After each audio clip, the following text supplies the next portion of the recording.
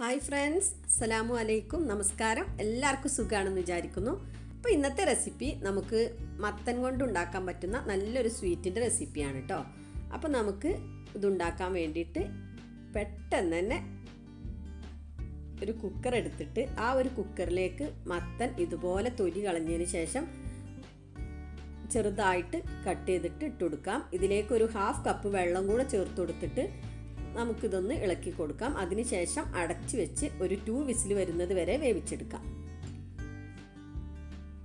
അപ്പം ഇത് ഇവിടെ വേവുന്ന സമയം കൊണ്ട് ഞാനിവിടെ ഒരു ഹാഫ് കപ്പ് ശർക്കരയിൽ ഹാഫ് കപ്പ് വെള്ളം കൂടി ഒഴിച്ചു കൊടുത്തിട്ട് അതൊന്ന് മെൽറ്റാൻ വെച്ചിട്ടുണ്ട്. ഇവിടെ ഇപ്പോൾ നമ്മുടെ മത്തന് ടു വിസിൽ വന്നിട്ടുണ്ട്. അതങ്ങോട്ട് മാറ്റി വെക്കാം. അപ്പോൾ ശർക്കരന്റെ ആ ഒരു പാനി ഉരുകാൻ വേണ്ടിയിട്ട് ഞാൻ അപ്പുറത്തേക്ക് മാറ്റി വെച്ചു.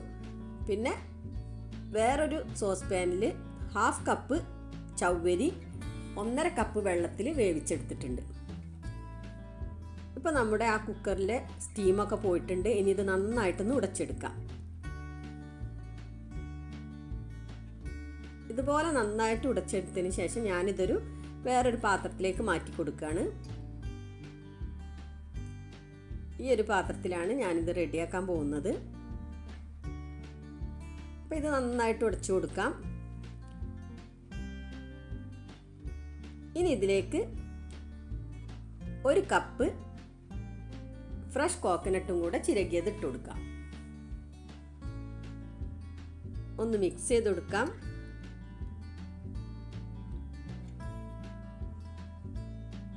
ഇതിലേക്ക് നമ്മൾ വേവിച്ച് വെച്ചിട്ടുള്ള ചവ്വരി ഇട്ട് കൊടുത്തിട്ട് നന്നായിട്ടൊന്ന് മിക്സ് ചെയ്ത് യോജിപ്പിച്ചെടുക്കണം.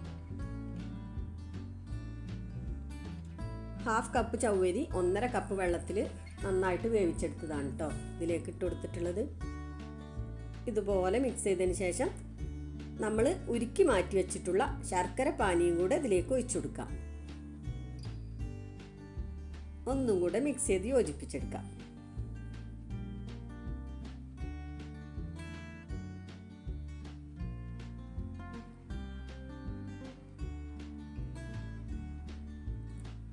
ഇനി ഇതിലേക്ക് ഒരു ഹാഫ് കപ്പ് വെള്ളത്തിൽ ഒരു ടേബിൾ സ്പൂൺ ഫുള്ളായിട്ടും അരിപ്പൊടി ഒന്ന് കലക്കി മിക്സ് ചെയ്തതിന് ശേഷം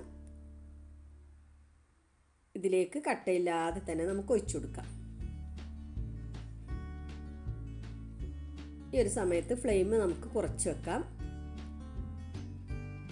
അപ്പോൾ ഇതും കൂടെ ഒഴിച്ചു കൊടുക്കുമ്പോൾ ഇതൊന്ന് തിക്കായിട്ട് കിട്ടും കേട്ടോ പിന്നെ നല്ലൊരു ടേസ്റ്റും ആവും.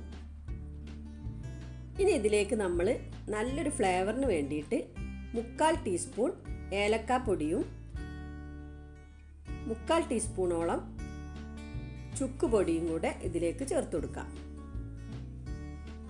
അതുപോലെ തന്നെ ചെറിയ ജീരകത്തിന്റെ ടേസ്റ്റ് ഇഷ്ട ഇഷ്ടമുള്ളവർക്ക് അതും ഒരു മുക്കാൽ ടീസ്പൂണോളം ചേർത്ത് കൊടുക്കാം കേട്ടോ.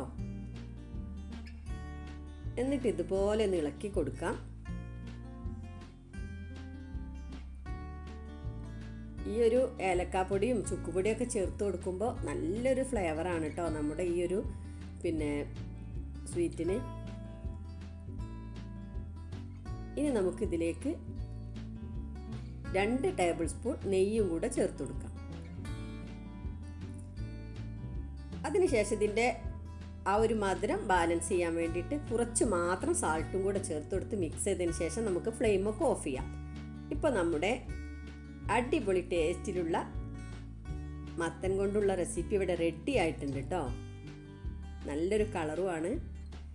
ഇനി നമുക്കിത് ചൂടോടുകൂടെ തന്നെ സെർവ് ചെയ്യാം. അപ്പോൾ നിങ്ങൾക്ക് ഈ വീഡിയോ ഇഷ്ടമായ ലൈക്ക് ചെയ്യാൻ മറക്കരുത്. അതുപോലെ തന്നെ നിങ്ങളുടെ വിലയേറെ കമൻസും അറിയിക്കണം.